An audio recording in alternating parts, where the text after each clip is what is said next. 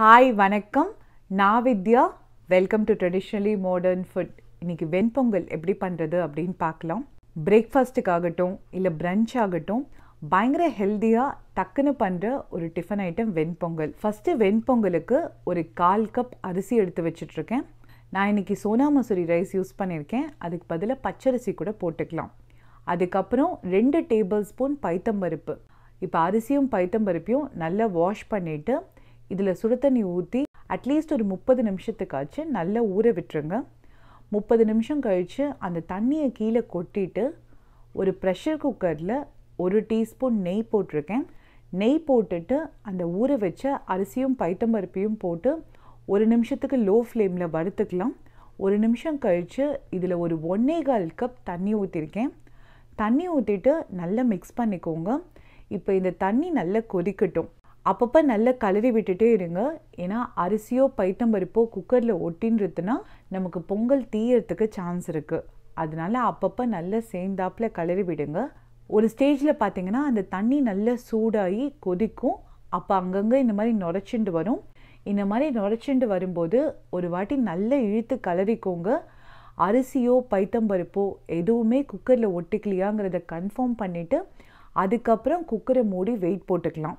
நாலுலேருந்து அஞ்சு விசிலுக்கு இந்த பொங்கலை நல்லா குக் பண்ணிக்கலாம். நல்ல லாங் விசில் வந்தால் நாலு போதும். குட்டி குட்டியாக வந்தால் அஞ்சு விட்டுக்கோங்க. அஞ்சு விசில் வந்தோடனே அடுப்பை லோ ஃப்ளேமில் வச்சு ஒரு பத்து செகண்ட் அப்படியே இருக்கட்டும். அதுக்கப்புறம் குக்கரை ஆஃப் பண்ணிவிடுங்க இப்போ குக்கர் ஓசை அடங்கட்டும். அதுக்குள்ளே நம்ம பொங்கலுக்கு தாளித்து கொட்டிக்கலாம். ஒரு பேனில் நல்ல தாராளமாக ஒரு டேபிள் ஸ்பூன் நெய் ஊற்றிருக்கேன் இப்போ அடுப்பை மிதமான சூடில் ஆன் பண்ணிவிட்டு நெய் லைட்டாக சூடானோடனே அதில் ஒரு எட்டு முந்திரி பருப்பு போட்டிருக்கேன். முந்திரி போட்டுட்டு நல்லா சேர்ந்தாப்பில் ஒரு முப்பது செகண்ட் வதக்கிக்கோங்க. முப்பது செகண்டுக்கு அப்புறம் அதில் ஒரு டீஸ்பூன் மிளகு போட்டிருக்கேன். மிளகு போட்டுட்டு இதில் கொஞ்சோண்டு கருவேப்பிலை போட்டிருக்கேன். ஈரம் இல்லாத கருவேப்பிலை போட்டுக்கோங்க இல்லைன்னா வெடிக்கிறதுக்கு சான்ஸ் இருக்குது கருவேப்பிலை போட்டுட்டு ஒரு டீஸ்பூன் சீரகம் போட்டிருக்கேன். சீரகம் போட்டுட்டு எல்லாத்தையும் சேர்ந்தாப்பில் நல்லா மிக்ஸ் பண்ணி வதக்கிக்கோங்க. ஓரளவுக்கு வறுப்பட்டோன்னே அதில் ஒரு அரை டீஸ்பூன் துருவிய இஞ்சி போட்டிருக்கேன். எல்லாத்தையும் சேர்ந்தாப்பில் நல்லா வதக்கிக்கோங்க.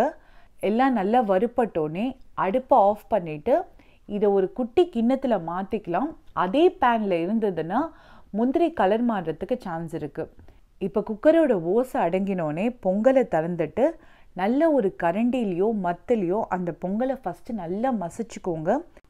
நல்ல சேர்ந்தாப்பில் இழுத்து மசிச்சோடனே அதில் அரை கப் சுடு தண்ணி ஊற்றிருக்கேன் அதில் பொங்கலுக்கு தேவையான உப்பு போட்டிருக்கேன். சுடு தண்ணி ஊற்றிட்டு நல்லா இழுத்து கலரிக்கோங்க கட்டி இல்லாமல் நல்ல சேர்ந்தாப்பில் கலரினோடனே இன்னொரு அரை கப் தண்ணி ஊற்றிருக்கேன் நல்ல சேர்ந்தாப்பில் இழுத்து கலர்னோடனே அடுப்பை மீடியம் ஃப்ளேமில் ஆன் பண்ணிக்கலாம். இப்போ இந்த பொங்கல் சேர்ந்தாப்பில் ஒரு ரெண்டுலேருந்து மூணு நிமிஷம் நம்ம குக் பண்ண போகிறோம் ஒரு டேபிள் ஸ்பூன் நெய் போட்டிருக்கேன். நெய் போட்டுட்டு நல்லா மிக்ஸ் பண்ணிக்கோங்க. அப்பப்போ நல்லா இழுத்து கலரிட்டே இருங்க. இல்லைன்னா பொங்கல் குக்கரில் ஒட்டிக்கிறதுக்கு சான்ஸ் இருக்குது நான் இன்னைக்கு இஞ்சியை வந்து துருவி போட்டிருக்கேன். அதுக்கு பதிலாக இஞ்சி பொடி கூட யூஸ் பண்ணிக்கலாம். அதே மாதிரி மிளகுக்கு பதிலாக குழந்தைங்களுக்கு கொடுக்கணுன்னா மிளகு பொடி கூட யூஸ் பண்ணிக்கலாம்.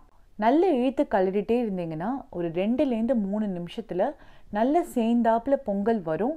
நல்ல இந்த மாதிரி சேர்ந்தாப்பில் வந்தோடனே இப்போ நம்ம அந்த தாளிச்சிருக்கோம்ல அதை போட்டுட்டு நல்லா மிக்ஸ் பண்ணிவிட்டு பொங்கலை ஆஃப் பண்ணிடலாம். ரொம்ப நேரம் குக் பண்ண வேண்டாம். இந்த மாதிரி சேர்ந்தாப்பில் வந்தோடனே ஆஃப் பண்ணிவிடுங்க அப்போ தான் நமக்கு சாப்பிடும்போது கரெக்டான கன்சிஸ்டன்சியில் பொங்கல் இருக்கும்.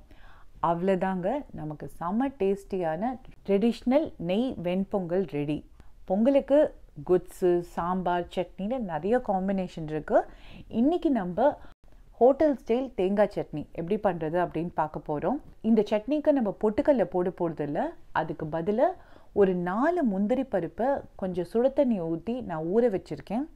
முந்திரி நல்லா சாஃப்ட் ஆச்சுன்னா நமக்கு அரைக்கிறதுக்கு சௌரியமாக இருக்கும். அதனால நான் ஊற வச்சுருக்கேன். முந்திரி நல்லா ஊறினோடனே நல்லா சாஃப்ட் ஆகிடும் அப்போ அந்த முந்திரி பருப்பை மட்டும் தனியாக எடுத்து வச்சுக்கோங்க. தண்ணியும் அதுக்குள்ளே ஆறிடும். அந்த ஆறின தண்ணியை நம்ம சட்னிக்கு யூஸ் பண்ணிக்கலாம். இப்போ ஒரு கப் தேங்காய் எடுத்து வச்சுருக்கேன். நான் இன்றைக்கி ஃப்ரோசன் தேங்காய் யூஸ் பண்ணியிருக்கேன். ஃப்ரோசன் தேங்காவை ஃபஸ்ட்டு டீஃப்ராஸ்ட் பண்ணிவிட்டு அதுக்கப்புறம் சட்னிக்கு எடுத்து வச்சுருக்கேன். சப்போஸ் நீங்கள் ஃப்ரெஷ் தேங்காவை துருவுறதா இருந்ததுன்னா தேங்காயில் இருக்கிற ப்ரௌன் பாட்டை விட்டுட்டு ஒயிட் பாட்டை மட்டும் நல்லா துருவி எடுத்து வச்சுக்கோங்க. தேங்காய் மெஷர் பண்ணும்போது எப்போவுமே நல்லா ப்ரெஸ் பண்ணி மெஷர் பண்ணிக்கோங்க. அப்போ தான் கரெக்டாக இருக்கும். ஒரு கப் தேங்காய் எடுத்துட்டு அந்த ஊடின நாலு முந்திரி பருப்பையும் இந்த தேங்காவோடு போட்டுட்டு உங்கள் காரத்துக்கு ஏற்ற மாதிரி பச்சை மிளகா போட்டுக்கோங்க. ஒரு குட்டி பச்சை மிளகா போட்டிருக்கேன். இந்த சட்னிக்கு காரம் கம்மியாக தான் இருக்கும். அதனால கொஞ்சம் கம்மியாக தான் போட்டிருக்கேன். சட்னிக்கு தேவையான உப்பு போட்டுட்டு தேங்காய் பால் ஆட் பண்ணியிருக்கேன் நான் இன்றைக்கி கடையில் வாங்கின திக் தேங்காய் பால் ஆட் பண்ணியிருக்கேன் தேங்காய் பால் சேர்த்துட்டு ஒரு டேபிள் ஸ்பூன் தண்ணியும் ஊற்றிட்டு இந்த சட்னியை அரைச்சிக்கலாம். அரைக்கும்போது தேவைக்கேற்ற மாதிரி கொஞ்சம் கொஞ்சமாக தண்ணி ஊற்றி அரைச்சிக்கோங்க. ஒரேடியாக தண்ணி ஊற்றி அரைச்சிட்டிங்கன்னா சட்னி நல்லா ஸ்மூத்தாக அரையாது. மொத்தத்தில் ஒரு ரெண்டுலேருந்து மூணு டேபிள் ஸ்பூன் தண்ணி தான் நான் அரைக்கும் போது ஆட் பண்ணியிருப்பேன் அத்தனோண்டு தண்ணி ஊற்றி தேங்காய் பாலோட இதை அரைச்சிங்கன்னா சூப்பராக நல்லா அரைஞ்சிடும். சட்னி நல்லா அரைஞ்சோடனே அந்த சட்னியை வந்து ஒரு கிண்ணத்தில் மாற்றிக்கலாம் இந்த சட்னிக்கு நம்ம முந்திரி பருப்பு தேங்காய் பால்லாம் சேர்த்துருக்கிறதுனால சட்னி நல்ல திக்காக இருக்கும். சாப்பிட்றதுக்கு முன்னாடி வேணும்னா கொஞ்சம் தண்ணி ஊற்றி நல்லா மிக்ஸ் பண்ணிக்கோங்க. அவ்வளோதாங்க சரணவன் ஸ்டைலில் ஒயிட் தேங்காய் சட்னி ரெடி இந்த சட்னி பொங்கலுக்குன்னு இல்லை இட்லி தோசை வடை போண்டா அந்த மாதிரி நிறைய டிஃபன் ஐட்டம்க்கு ரொம்ப சூப்பராக இருக்கும். கண்டிப்பாக ட்ரை பண்ணி பாருங்கள் உங்களுக்கும் பிடிக்கும். நான் இன்றைக்கி கடையில் வாங்கின தேங்காய் பால் யூஸ் பண்ணியிருக்கேன் அதுக்கு பதிலாக வீட்டில் பண்ண தேங்காய் பால் கூட யூஸ் பண்ணிக்கலாம். வீட்டில் பண்ண தேங்காய் பால் கெட்டியாக இருந்ததுன்னா அப்படியே யூஸ் பண்ணிக்கோங்க. சப்போஸ் கொஞ்சம் தண்ணியாக இருந்ததுன்னா சட்னியில் தண்ணி ஆட் பண்ணாதீங்க. அதுக்கு பதிலாக வெறும் தேங்காய் பால் யூஸ் பண்ணிக்கோங்க. உங்ககிட்ட தேங்காய் பால் இல்லைன்னா அதுக்கு பதிலாக பால் கூட ஆட் பண்ணி சட்னி அரைச்சிக்கலாம். ஹோட்டல் ஸ்டைலில் தேங்காய் சட்னி பண்ணணுங்கிறதுக்காக நான் இன்றைக்கி தாளிச்சு கொட்டல. உங்களுக்கு வேணும்னா கொஞ்சோண்டு தேங்காய் எண்ணெயில் கடுகு உளுத்தம்பருப்பு பெருங்காயம் போட்டு தாளித்து கொட்டிக்கலாம். அதே மாதிரி பூண்டு வெங்காயம் இஞ்சி அதெல்லாம் கூட டேஸ்ட்டுக்கு ஏற்ற மாதிரி ஆட் பண்ணிக்கலாம். ஆனால் அதெல்லாம் போட்டோம்னா கொஞ்சம் சட்னியோட கலர் மாறும். நல்ல ஒயிட் சட்னி வேணும்னா இந்த மெஷர்மெண்ட்டை அப்படியே ஃபாலோ பண்ணுங்கள் சூப்பராக வரும். இந்த வீடியோ உங்களுக்கு பிடிச்சதுன்னா லைக் பண்ணிவிட்டு டிஎம்எஃப்பை சப்ஸ்கிரைப் பண்ணிவிடுங்க தேங்க்யூ